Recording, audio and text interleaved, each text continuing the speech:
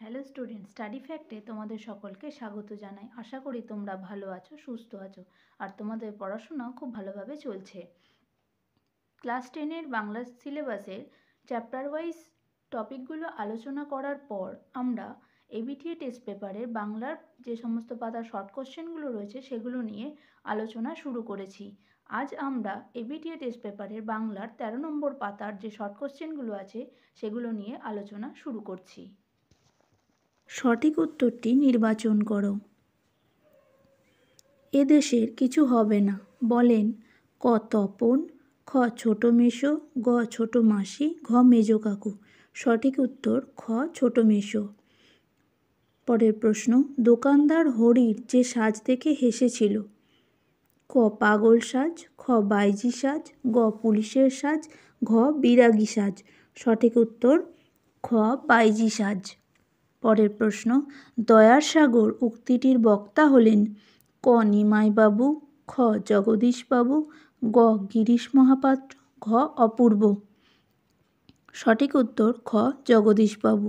পরের প্রশ্ন, অশোকী একজন কবিতাটি তর্জমা করেন, ক নবারুণ ভট্টাচার্য, খ নবারুণ রায়, গ নবারুণ ঘোষ, ঘ নবারুণ চ্যাটার্জি।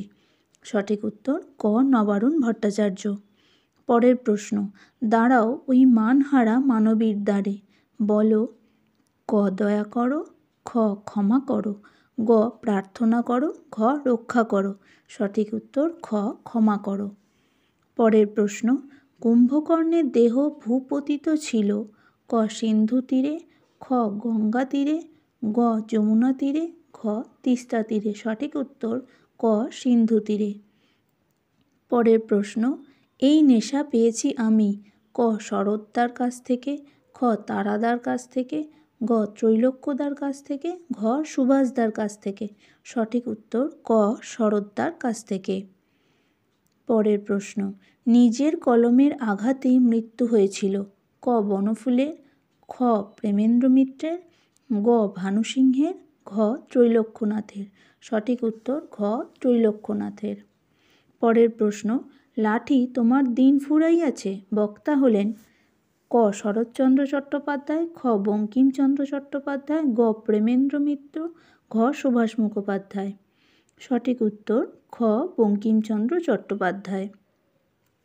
পরের প্রশ্ন, গায়ক গান গাইছেন। এখানে গায়ক হল ক ব্যতিহার কর্তা খ নিরপেক্ষ কর্তা গ সমধাতুজ কর্তা ঘ অনুক্ত কর্তা সঠিক উত্তর, খ, নিরপেক্ষ কর্তা। পরের প্রশ্ন, টাকায় সব হয়, নিম্নরেখ অংশটি ক, করণকারক, খ, কর্মকারক ক নিমিত্তকারক, খ, অধিকরণকারক। সঠিক উত্তর, ক, করণকারক। পরের প্রশ্ন, অনুসর্গের অপর নাম, ক, নির্দেশক, খ, পরসর্গ, গ, বিভক্তি, ঘ সম্বোধন পদ সঠিক উত্তর, খ, পরসর্গ। দ্বিকর্ম ক্রিয়ার অপ্রাণীবাচক কর্মটি হল ক মুখ্য কর্ম, খ গৌণ কর্ম, গ সমধাতুজ কর্ম, ঘ অসমাপিকা ক্রিয়ারূপী কর্ম। সঠিক উত্তর, ক মুখ্য কর্ম। ব্যাসবাক্যের অপর নাম ক সমস্ত বাক্য, খ সমস্ত পদ, গ বিগ্রহ বাক্য, ঘ বিগ্রহ পদ। সঠিক উত্তর, গ বিগ্রহ বাক্য।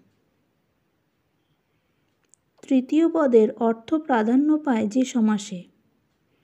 ক দিগু, খ দ্বন্দ্ব, গ তৎপুরুষ, ঘ বহুব্রীহি। সঠিক উত্তর, ঘ বহুব্রীহি। পরের প্রশ্ন, রাজায় রাজায় যুদ্ধ, এই বাক্যের কর্তাটি ক ব্যতিহার কর্তা খ নিরপেক্ষ কর্তা গ প্রযোজ্য কর্তা ঘ প্রয়োজক কর্তা সঠিক উত্তর ব্যতিহার কর্তা পরের প্রশ্ন চেয়ে একটি ক তির্যক বিভক্তি, খ ক্রিয়াজাত অনুসর্গ, গ নামজাত অনুসর্গ, খ বিভক্তি। সঠিক উত্তর, খ ক্রিয়াজাত অনুসর্গ। পরের প্রশ্ন, কম বেশি কুড়িটি শব্দে প্রশ্নগুলির উত্তর দাও। প্রথম প্রশ্ন যে কোনো চারটি প্রশ্নের উত্তর দাও। পৃথিবীতে এমন অলৌকিক ঘটনাও ঘটে? অলৌকিক ঘটনা কোনটি? আশাপূর্ণা দেবীর লেখা জ্ঞানচক্ষু গল্পের অন্যতম চরিত্র, তপন তার লেখক মেশোকে দেখে অনুপ্রাণিত হয়ে গল্প লিখেছিল। গল্প পড়ে ছোট মেশো প্রশংসা করে বলেছিল, সন্ধ্যা তারা পত্রিকায় গল্পটি ছাপিয়ে দেবেন।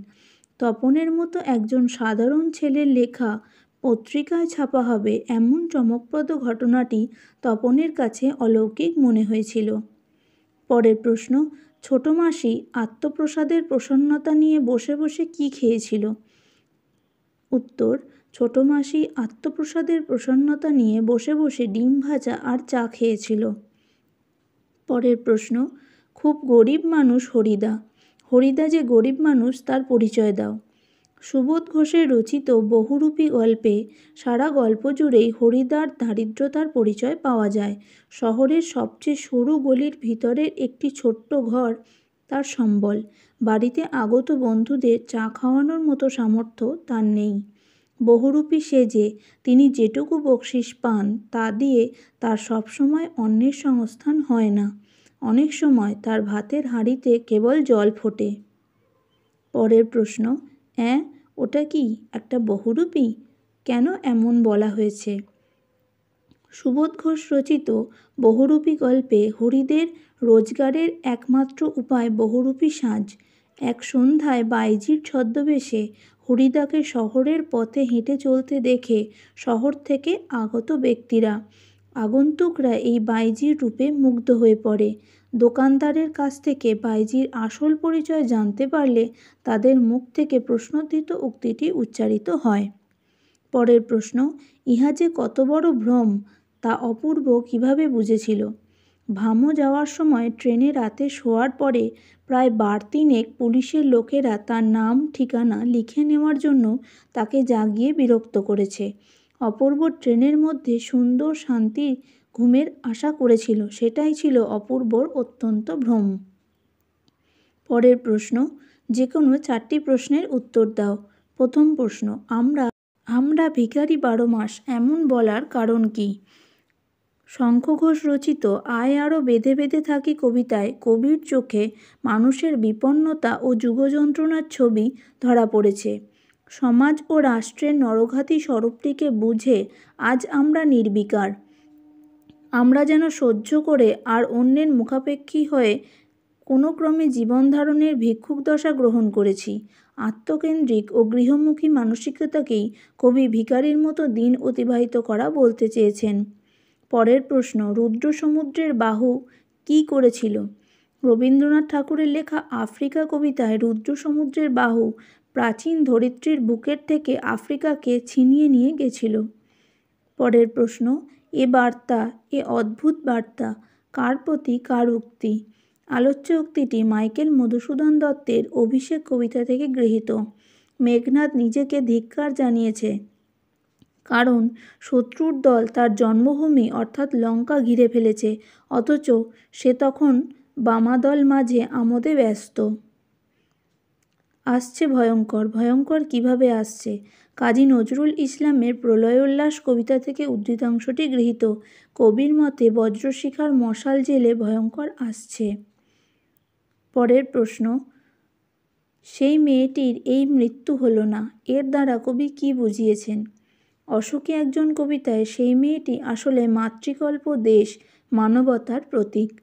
সর্বগ্রাসী যুদ্ধে দেশীয় সভ্যতা ধ্বংসপ্রাপ্ত হয়, মৃত্যু হয় অগণিত মানুষের।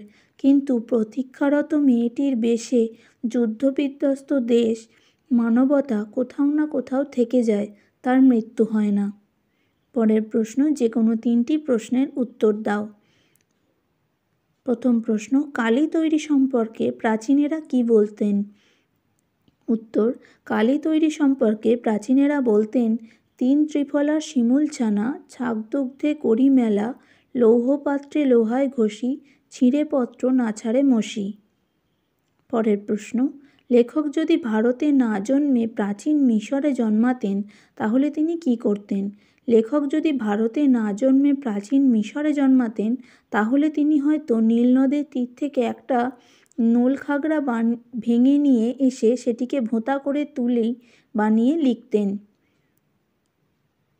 পরের প্রশ্ন, তাঁদের দোয়াতে গোঁজা পালকের কলম, কাদের? হারিয়ে যাওয়া কালিকলম প্রবন্ধে উইলিয়াম জোন্স কিংবা কেরি সাহেবের মুন্সির ছবিতে দোয়াতে গোঁজা পালকের কলম দেখতে পাওয়া গিয়েছিল। পরের প্রশ্ন ভ্যাবাচাকা খেয়ে গেলাম, কখন? দ্বিতীয় বিশ্বযুদ্ধের বেশ কয়েক বছর পরে কলেজ স্ট্রিটের একটি নামি দোকানে ফাউন্টেন পেন কিনতে গিয়ে দোকানি পেনের নাম জানতে চাইলে প্রাবন্ধিক ভ্যাবাচাকা খেয়ে যান। পরের প্রশ্ন যে কোনো আটটি প্রশ্নের উত্তর দাও। প্রথম প্রশ্ন, ক্রিয়া বিভক্তি কাকে বলে? যে বিভক্তিগুলি ধাতুর সঙ্গে যুক্ত হয়ে ধাতুকে সমাপিকা ক্রিয়াপদে পরিণত করে, তাদের ধাতু বিভক্তি বা ক্রিয়া বিভক্তি বলে। পরের প্রশ্ন, বহুবচন নির্দেশকের উদাহরণ দাও। বহুবচন নির্দেশকগুলি হল গুলি, গুলো, গণ, গুলা, সমূহ, রাজি ইত্যাদি। পরের প্রশ্ন, তির্যক বিভক্তি কাকে বলে? যেসব বিভক্তি সব কারকেই ব্যবহৃত হয়, তাদের তির্যক বিভক্তি বলে, যেমন এ, তে ইত্যাদি। পরের প্রশ্ন, বিভক্তি ও অনুসর্গের একটি পার্থক্য লেখো। বিভক্তি ও অনুসর্গের পার্থক্য হলো অনুসর্গের স্বাধীন অর্থ ও স্বাধীন ব্যবহার আছে। বিভক্তির স্বাধীন অর্থ ও স্বাধীন ব্যবহার নেই। পরের প্রশ্ন, শিশুরা খেলছিল মায়ের কোলে, নিম্নরেখ পদটির কারক নির্ণয় করো। শিশুরা খেলছিল মায়ের কোলে রেখাঙ্কিত পদটি অধিকরণ কারক। পরের প্রশ্ন, অপাদান কারকের অন্তঃস্থ বিভক্তির উদাহরণ দাও। টাকায় টাকা হয়, এখানে টাকায় হলো অন্তঃস্থ অবিভক্তি। পরের প্রশ্ন। দ্বিগু সমাস ও সংখ্যাবাচক বহিব্রীহি সমাসের একটি পার্থক্য লেখো। দ্বিগু সমাসে পরপদের অর্থ প্রধান হয়। অপরদিকে সংখ্যাবাচক বহুব্রীহি সমাসে অন্য পদের অর্থ প্রাধান্য পায়। পরের প্রশ্ন, গায়ে হলুদ বিয়ের একটি বিশেষ অঙ্গ। নিম্নরেখ পদটির ব্যাসবাক্যসহ সমাস নির্ণয় করো। গায়ে হলুদ, অর্থাৎ গায়ে হলুদ দেওয়া হয় যে অনুষ্ঠানে। অকুল বহুব্রীহি সমাস। পরের প্রশ্ন, অধিকরণে বিপসার একটি উদাহরণ দাও। অধিকরণে বিপসার একটি উদাহরণ কাজগুলো হাতে হাতে করে ফেলো। পরের প্রশ্ন, বাক্যাশ্রয়ী সমাসের একটি উদাহরণ দাও। চক্ষু অপারেশন শিবির, অর্থাৎ চক্ষু অপারেশন সম্বন্ধ তৎপুরুষ, তার জন্য শিবির নিমিত্ত তৎপুরুষ। আজ এই পর্যন্ত, পরের দিন আরও একটা পেজ নিয়ে আলোচনা করব। সমস্ত লং কোশ্চেনের অ্যান্সারগুলো তোমরা আমাদের অ্যাপে পেয়ে যাবে। অ্যাপ ডাউনলোড করার লিঙ্ক নিচে ডেসক্রিপশন বক্সে দেওয়া হলো। Thank you